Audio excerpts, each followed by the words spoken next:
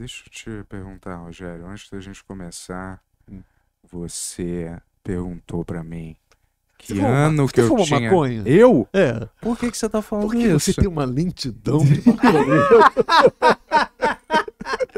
tem uma lentidão. E o teu pai, eu não sei, não sei. Não, mas, você o teu, mas o teu ah. pai era muito diferente de você, Pô, né? O teu devagar. pai era o oposto de você. Não, não, não. Obrigado. Jura? É, não sei se sou elogio você. Não, mas, não, Mas é.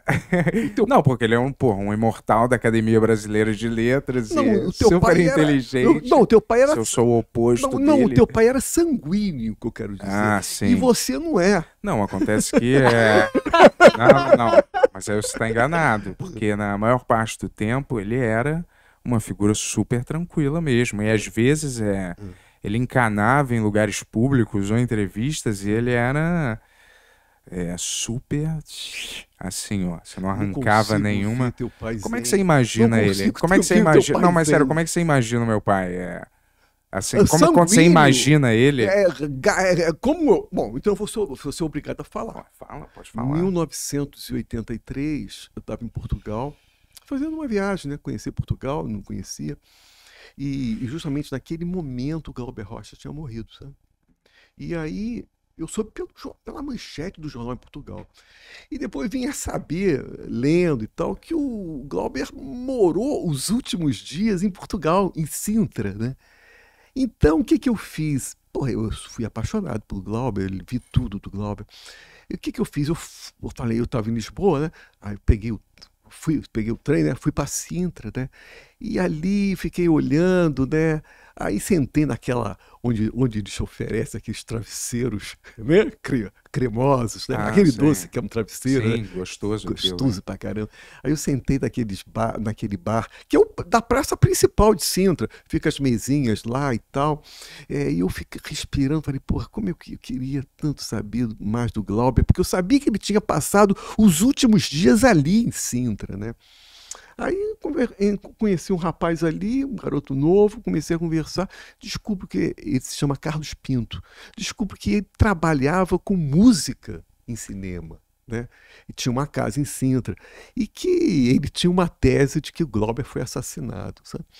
E, Ah, é mesmo? é, mas é uma tese delirante. Né? Ah, É, e ali eu comecei a fazer uma coisa louca, porque eu estava como turista e comecei a fazer uma pesquisa sobre, sabe, sobre o Glauber. Então é, o, o Carlos Pinto ia me levando para os principais diretores de Portugal que ele conhecia, como Zé Fonseca, Zé Fonseca Costa, que é um grande diretor português.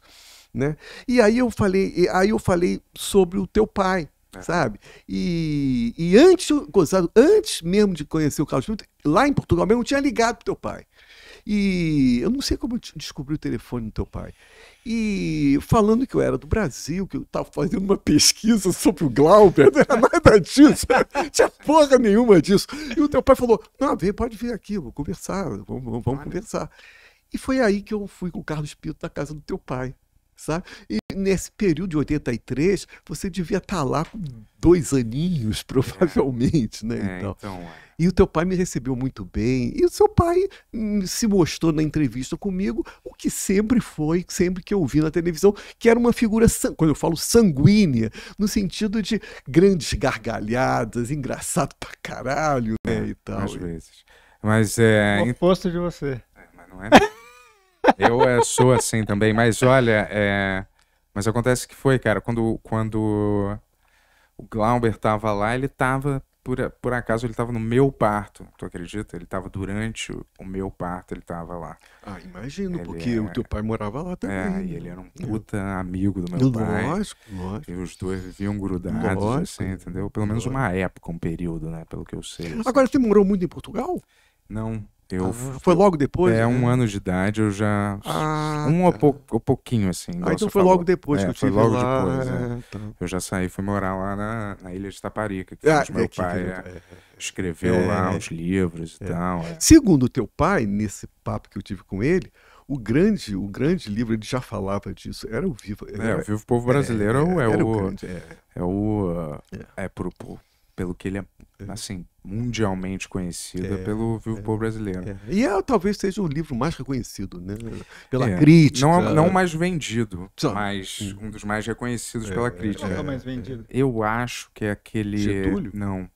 Casa dos Budas Ditosos, tá ligado? Ah, que teve, que teve, a, in- a- teve a interpretação da Fernanda. Isso, da da Fernanda Torres. É. Mas é, eu vou te dizer, é, esse. Mas o livro é porque ele fazia parte de um lançamento na época que era os Sete Pecados Capitais. E aí cada autor escrevia sobre um Ah, pecado capital. E do meu pai era o Luxúria, né? Que ele pegou logo de cara. Então ele escreveu esse que era na ótica de uma mulher relatando uma vida sexual super ativa. Mas né? quando eu falo isso, eu acho que o filho, isso, é- é um, acho até que o- esse é um grande problema do nosso país, né? Aham.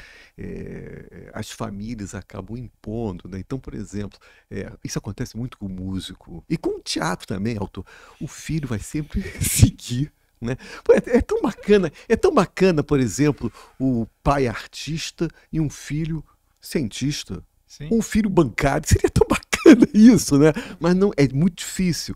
O, o, o, o filho sempre está querendo copiar o modelo do pai. E, e é sempre uma cópia mal feita. né?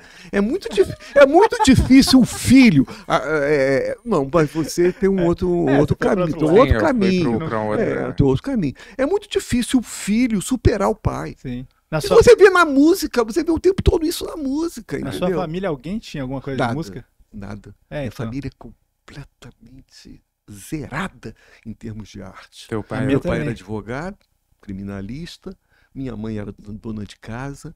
né? E na minha casa não tem nenhum artista.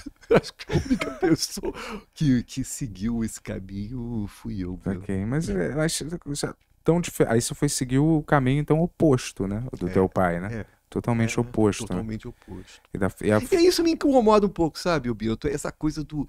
do na, na- no Brasil tem isso, né?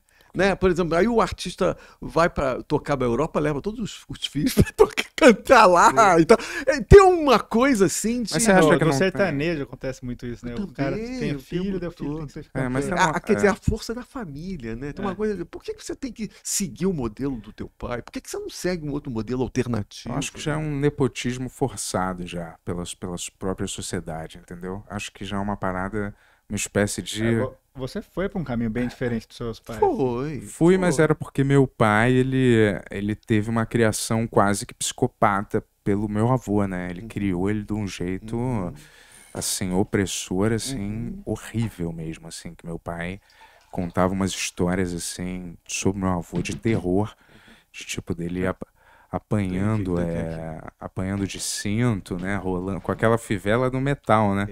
Aquela E é. Não, mas coisas assim que acho que nem naquela época, que era tipo, ele brincou na grama, aí ficou se coçando, aí meu avô passou enxofre nele, pelado, e deixou ele no sol. Quer ver um outro cara que era muito amigo do teu pai, que Ah. era muito amigo meu também? Luiz Carlos Maciel. Hum. Muito amigo, sabe? É? O, o Luiz Carlos Maciel era muito amigo do teu pai. É, meu pai, ele teve um período que ele era, tinha muitos amigos, Uhum. e aí depois ele foi meio que se fechando, cara. Aí ele foi ficando muito Agora, estranho. fechando em termos, né, Bento? Porque, por exemplo, ele tinha coluna no Globo, né? Não, era não. uma. Não, né? ele era, mas ele era um alcoólatra ferrenho quase que até o final Sim. da vida dele, entendeu? Sei, Ele tentou largar, sei.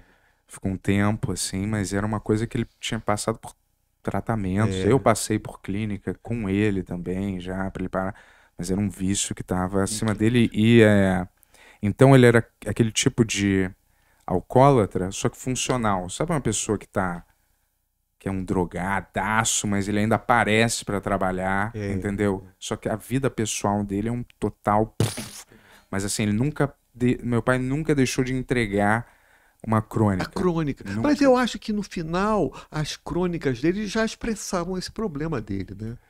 E é, tá às vezes em algumas, ele Algumas, podia é, lidar é, assim é. com esse assunto. Porque isso daí não me é estranho. Pô, não minha tá me contando é- nenhuma novidade. Não, é. Minha mãe é, minha mãe descia e- e pelo bairro inteiro com fotos do meu pai e espalhando pelos bares para não vender para ele bebida. Ela ia por, pelo Leblon em todos os bares que ela sabia que ele podia ir e deixava a foto dele, implorava pro cara se ele aparecer, não vender é, birita pra ele, entendeu? É isso. É, então era, era punk. Então ele tinha esse lado que era super profissional pra ele, assim, moral e a profissionalidade. E Então você morou em qualquer parada. Itaparica, você morou em Itaparica, morou no Leblon. É, morei em Taparica, Leblon, Alemanha. É, mas é, foi, foi isso. Né? Mas que história, né, cara? Não sabia que tinha acontecido É. isso. Esse, esse link que a gente tinha, essa É, e, ligação. e uma- um cara muito afável, é, comunicador, era muito legal, foi muito legal. Ele contando sobre o Glauber, foi impressionante, cara. É. impressionante. Uau! Nossa! Eu tava assistindo um corte aqui. Você também tava vendo? Se você quiser ver mais cortes como esse, se inscreve aí no nosso canal de corte. Porque senão me disseram aqui que vão sequestrar o Bento Ribeiro. Peraí, eu?